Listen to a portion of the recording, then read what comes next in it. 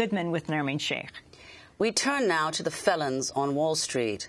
Five of the world's top banks will pay over $5 billion in fines after pleading guilty to rigging the price of foreign currencies and interest rates.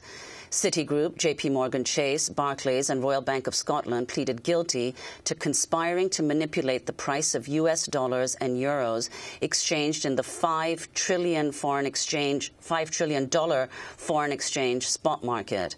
UBS pleaded guilty for its role in manipulating the LIBOR benchmark interest rate. On Wednesday, U.S. Attorney General Loretta Lynch announced the deal.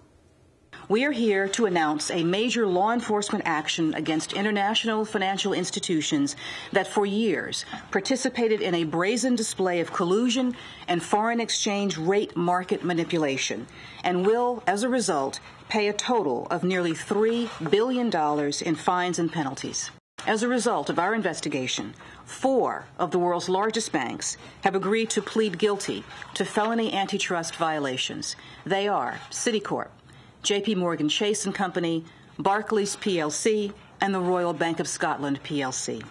No one who works with the bank was hit with criminal charges as part of the settlements. For more, we're joined by Matt Taibbi, award-winning journalist with Rolling Stone magazine. His most recent book, The Divide, American Injustice in the Age of the Wealth Gap, is now out in paperback. Welcome back to Democracy Now!, Matt. Okay, you, explain what these banks are charged with, and what does it mean when you say banks are charged, but all the people go free? Right. They filed, uh, actually, these banks, the companies, pleaded guilty to felony charges in this case, which means it was not individuals at the company, it was the actual company itself, which is actually a step forward because uh, for a long time in the post 2008 period, we were having a lot of settlements where there was a sort of neither admit nor deny uh, um, agreement between the government and these companies. And in this case, they actually did have to admit to wrongdoing and did have to plead guilty to a criminal charge in addition to the money changing hands. And what was the wrongdoing?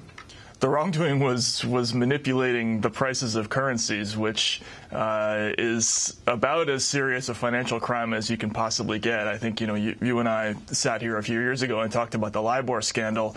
Um, this is very similar. Uh, LIBOR. as simple terms as you can make it, because I think that's why nobody goes to jail. No one can. You can right. understand if someone steals a candy bar, right. and a person can go to jail for years for that. Right. But when it comes to this, what did they do? They were monkeying around with the prices of every currency on earth. So if you can imagine that anybody who has money, which basically includes anybody who's breathing on the planet, um, all of those people were affected by this activity. So if you have dollars in your pocket, um, they were monkey monkeying around with the prices of dollars versus euros. So you might have had more or less money fractionally, uh, depending on uh, all of this manipulation every single day. And again, uh, Attorney General Lynch uh, went out of her way to say that this activity went on basically every single day for the last five years or so. So every single day, that five dollars in your pocket was worth a little bit more or a little bit less, uh, based on what these people were doing. And if you spread that out to everybody on Earth, it turns into a, a, a, financial crime that's on a scale that you know you would normally only think of in Bond movies or something like that. Hmm. Well, the Justice Department says traders used online chat rooms and coded language to manipulate currency exchange rates. One high-ranking Barclays trader chatted, quote, if you ain't cheating, you ain't trying. And another responded, quote, yes, the less competition, the better. So could you comment on that, Matt, and also explain why, in this particular case, the companies pleaded guilty? Well, I think part of it is because they had this very graphic uh, online record of, of these people chatting and admitting to essentially a criminal conspiracy in writing. Uh, that's one of the things that's really interesting about this entire uh, era of financial crime is that you have so much of this very graphic, detailed documentary evidence just lying around. The problem is the government has either been too overwhelmed or, or too disinclined to go and get it and do anything with it. In this case, you have people openly calling themselves the cartel or the mafia and then openly talking about monkeying around or manipulating uh, you know, the price of this or that. Um, the, the, CFTC, the Commodity Futures Trading Commission, actually released uh, chats from a different case involving interest rate swaps yesterday where they, where one guy was bragging about how he was he was uh, holding up the the price of interest rate swaps like he was bench pressing it. Uh, they were bragging about this, uh, uh you know, in these chat rooms. So these what, what you have to understand about these a lot of these people, they're very testosterone laden, souped up young people uh, who think that they're indestructible, they're very arrogant, and they're doing all this in, in chat rooms thinking they're never going to get caught, and they got caught. On Wednesday, Citigroup CEO Michael Corbat said, quote, the behavior that resulted in the settlements we announced today is an embarrassment to our firm and stands in stark contrast to Citi's values unquote. Meanwhile, JP Morgan CEO Jamie Dimon called the investigation findings, quote, a great disappointment to us. He went on to say, quote, the lesson here is that the conduct of a small group of employees or of even a single employee can reflect badly on all of us and have significant ramifications for the entire firm, said the CEO, Jamie Dimon. Well, what's humorous about this is that uh, uh, virtually all of these so-called too big to fail banks now have been embroiled in, in, scandals of varying degrees of extreme seriousness since 2008. So for them to say, oh, it's just a few bad apples in this one instance is increasingly absurd. They've been dinged for, for everything from bribery to money laundering to rigging LIBOR to um, mass fraud in the subprime mortgage markets and now currency, the forex markets. Um, it's one mass crime over, uh, you know, after another, and there's no consequence. Now, aren't these banks competitors? Well, Sort of, but that's the main problem in this case is what's happening is that they're colluding, which is a far more dangerous kind of corruption than what we saw, for instance, in 2008 when you saw a lot of banks in-house committing fraud, uh, you know, against their own clients and against the markets.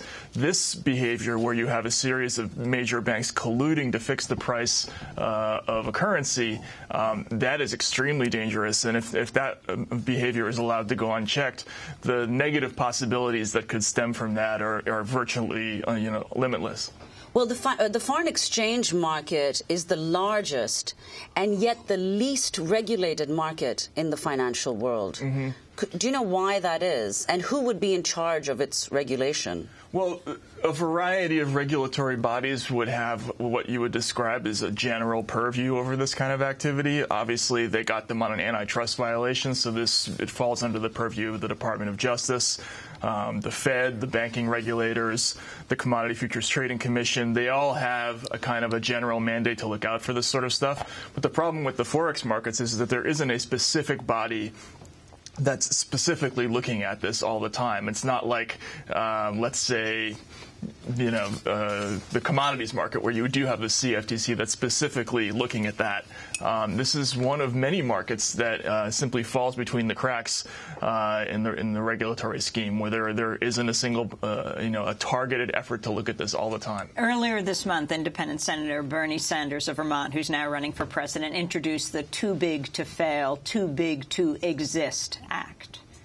The bill that I am introducing today with Congressman Brad Sherman would require regulators at the Financial Stability Oversight Council to establish too big to fail list, a too big to fail list of financial institutions and other huge entities whose failure would pose a catastrophic risk on the United States economy without a taxpayer bailout. This list must include, but is not limited to, JP Morgan Chase, Bank of America, Citigroup, Goldman Sachs, Wells Fargo, and Morgan Stanley. It should make every American extremely nervous that in this weak regulatory environment, weak regulatory environment, the financial supervisors in our country and around the world are still able to uncover an enormous amount of fraud on Wall Street and other financial institutions to this very day. I fear very much that the financial system is even more fragile than many people may perceive. This huge issue simply cannot be swept under the rug. It has got to be addressed. So that is Democratic presidential candidate Bernie Sanders, senator of Vermont, independent senator. Uh, about a decade ago, mm. you uh, stayed with Sanders for about a month, mm -hmm. covering him for Rolling Stone, doing a profile. Yeah, sort of remarkably, he he uh, invited me to tag along and just sort of watch how the process works. I think he he felt that the public uh, should know about a lot of the nooks and crannies of the congressional bureaucracy, uh, and I got this remarkable education into how things actually work. He didn't hold anything back. Um, Sanders is, you know, exactly as advertised. He's a completely honest, I think, politician who is just really interested in seeing you know, uh, standing up for regular working people. So his voice on this on this particular issue, I think, is really important because he's one of the few politicians who understands that it's it's a truly bipartisan situ- issue that affects everybody, people on both sides of the aisle equally. Uh, and he's absolutely right about breaking up the banks. That is the single most important thing that that has to be done uh, with this issue. Well, there have been reports, uh, uh Matt Taibbi, and I'm sure this is the case, that none of the significant changes that were to be put in place in the financial system since the crisis occurred several years ago, those changes have not yet taken place. And so this kind of thing is likely to recur.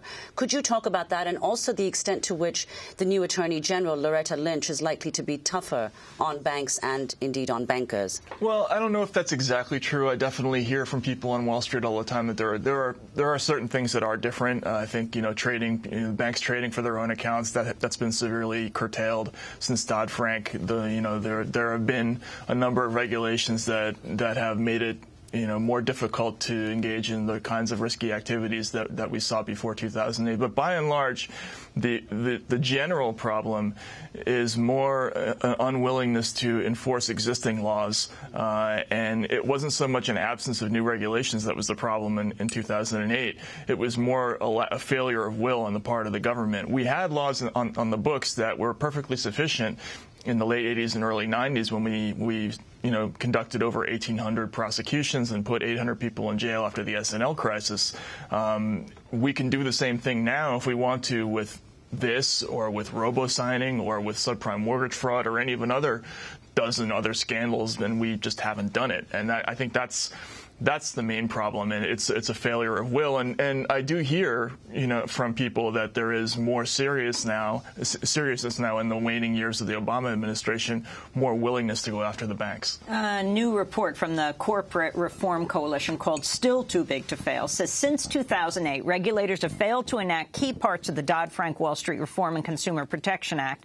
It found, quote, the top six bank holding companies are considerably larger than before and are still permitted to borrow excessively relative to the assets they hold, banks can still use taxpayer-backed insured deposits to engage in high-risk derivative transactions here and overseas. Compensation incentives fail to discourage mismanagement and illegality, given that when legal fees, settlements and fines mount, it's usually the shareholders, not the corporate executives, who pay.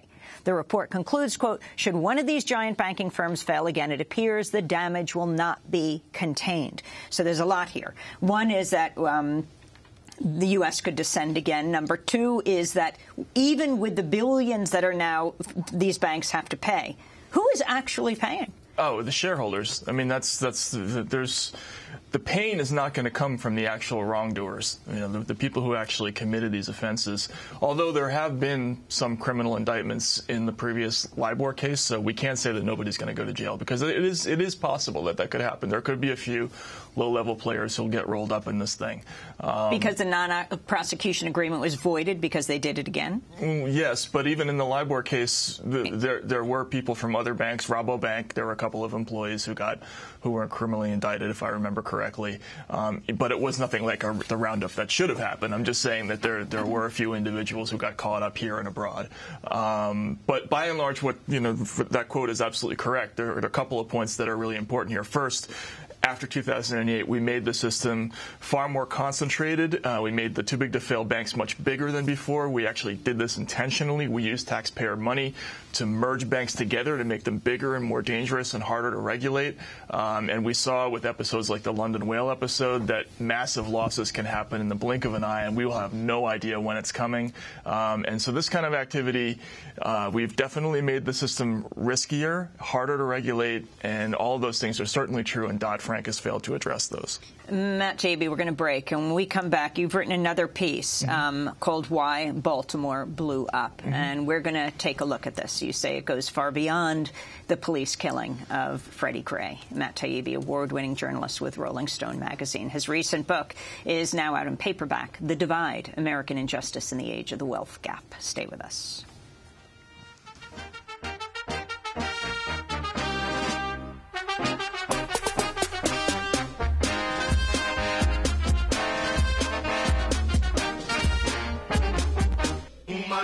Flamengo,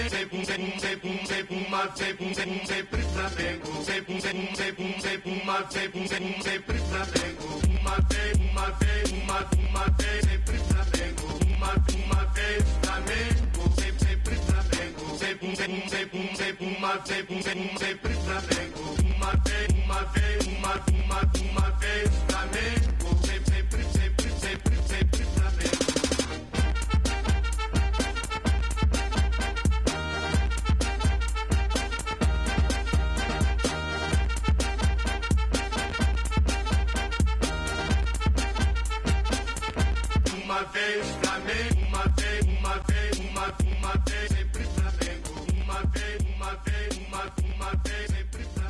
Mangao 2000, Dennis